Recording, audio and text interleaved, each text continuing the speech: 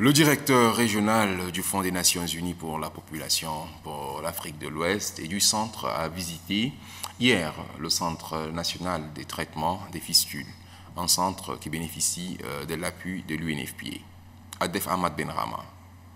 Le directeur régional de l'UNFPA pour l'Afrique de l'Ouest et du centre, Dr Mabingue Ngom, est allé vivre les réalités des femmes malades de fistules.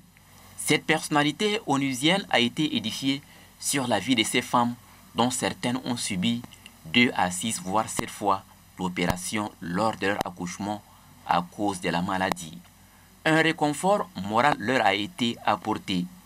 L'espoir se lit sur les visages de ces femmes prises en charge au Centre national de traitement des fistules.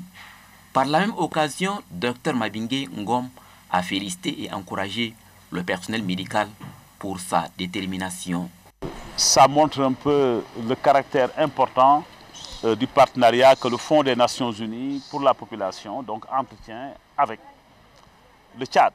Et nous avons vu également les progrès euh, que nous sommes en train de réaliser, je pense que pour, euh, en ce qui concerne la réparation, mais également leur réinsertion donc économique et sociale.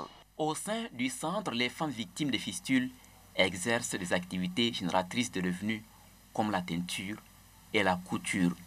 Avec l'appui du Fonds des Nations Unies pour la population, elle travaille en toute autonomie.